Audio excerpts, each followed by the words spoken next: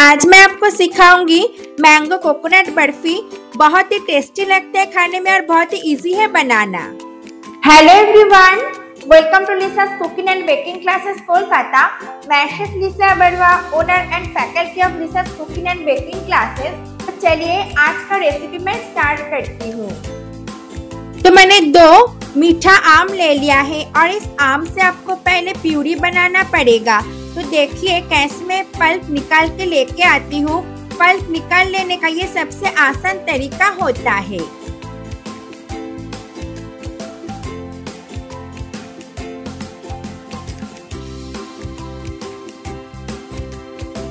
Direct pulp को निकाल के ग्राइंडर जार में डाल दीजिए।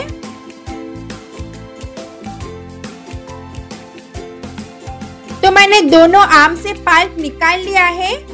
अब मैं इसमें ऐड करूँगी वन फोर्थ कप मिल्क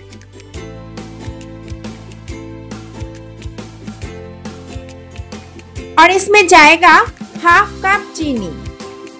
अब इस तीन इंग्रेडिएंट्स को एक साथ मैं फुल स्पीड में चला के एकदम पेस्ट फॉर्म में ग्राइंड कर लूँगी। अब एक कढ़ाई ले लीजिए। और कढ़ाई में मैं डाल दिया है वन टेबल स्पून घी। और इसमें मैं ऐड करूँगी मैंगो प्यूरी और इसमें जाएगा एक कप मिल्क पाउडर अब इन तीन चीज़ों को एक साथ अच्छे से मिक्स कर लीजिए। अब एक हैंड व्हिस्कर ले लीजिए और इसको अच्छे से व्हिस्कर दीजिए तो ये अच्छे से मिक्स हो जाएगा। अब मैं इस कढ़ाई को डायरेक्ट बिठा दूँगी।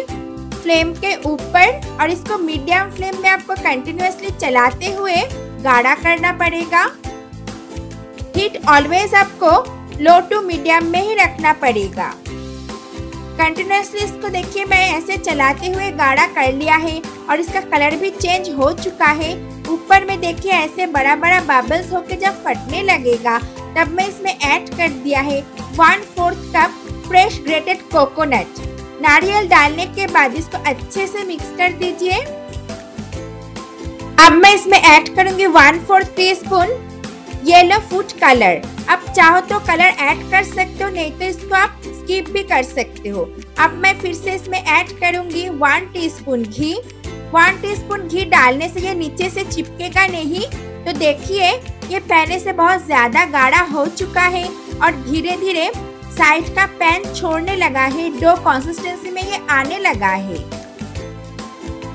कंटिन्यूसली इसको ऐसे चलाते हुए कुक करना पड़ेगा। तो देखिए, जब ऐसे डो कंसिस्टेंसी में आ जाएगा थोड़ा सा हाथ के ऊपर रख के इसको ठंडा कर लीजिए, उसके बाद इसको एक बॉल जैसा बना लीजिए। देखिए, हाथ में चिपक नहीं रहा है मतलब कि ये प्रॉपर कंसिस्टेंसी में आ गया है। देखिए हाथ में मैं ऐसे लगा रही हूँ तो हाथ के ऊपर घूम रहा है। हाथ में बिल्कुल भी नहीं चिपक रहा है। तो ये डो फॉर्म में आ गया है। अब मैं फ्लेम बंद करके दो मिनट के लिए इसको रूम टेम्परेचर में छोड़ दूँगी और एक प्लेट लेके उसके ऊपर थोड़ा सा घी लगा लूँगी मैं। दो मिनट के बाद देखिए ठंडा हो चुका है थोड़ा सा इसी कंडीशन में इसमें मैं ऐड कर दूँगी वन टीस्पून इलायची पाउडर इलायची पाउडर को इसी स्टेज में आपको ऐड करना पड़ेगा। अब इस डो को मैं प्लेट के ऊपर डाल के इसको स्प्रेड कर दूँगी। थोड़ा सा मोटा करके इसको स्प्रेड करना पड़ेगा, क्योंकि इससे ही मैं बर्फ़ी कट करूँगी। तो देखिए स्क्वायर शेप दे दीजिए। स्पैचुला से कीजिएगा तो हाथ में आपको गर्म नहीं लगेगा और ये बहुत जल्दी से बन भी जाएगा। और ऊपर में मैं थोड़ा सा ड्राई फ्रूट डाल दूँगी। आप आपके मनपसंद कोई भी ड्राई फ्रूट्स इसमें डाल सकते हो। अब मैं इसको दो घंटे के लिए नॉर्मल फ्रिज में छोड़ दूँगी सेट होने के लिए। तो देखिए, दो घंटे के बाद ये बिल्कुल सेट हो चुका है। अब मैं इसको चारों साइड से इक्वली कट कर लूँगी। चारों साइड से कट करने से बर्फ़ी देखने में बहुत अच्छा लगेगा। और बर्फ़ी का जो चारों साइड का एजेस है ना, वो एकदम शार्प में निकल के आएगा। तो पहले मैंने एक शार्प नाइफ ले लिया है और एक नाइफ से मैं पहले मार्क लगा लूँगी। मार्क लगाना ज़रूरी है तो आपका बर्फ़ी एकदम प्रॉपर साइज़ में निकल के आएगा। मार्क लगाने के बाद इसको प्रॉपर साइज़ में कट कर लीजिए। तो देखिए बर्फ़ी का एजेस कितना शार्प होके निकल के आएगा?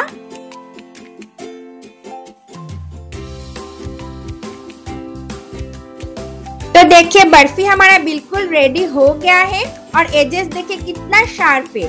और इस बर्फ़ी को आप फ्रिज के अंदर में एयरटाइट करके वन वीक तक रख के खा सकते हो। बहुत ही सॉफ्ट बर्फ़ी है ये। मैं आपको थोड़ा सा तोड़ के दिखा रही हूँ। देखिए, एकदम मुँह में घुल जाता है। अब एक ऐसा पेपर कप लेके उसके ऊपर में बर्फ़ी रख के सर्व कर सकते हो तो सर्विंग के टाइम आपका हाथों में नहीं लगेगा और देखने में भी अच्छा लगेगा।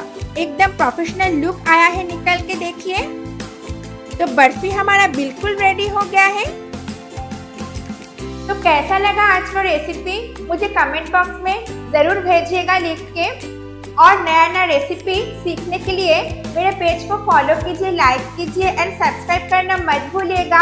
आज के लिए इतना ही।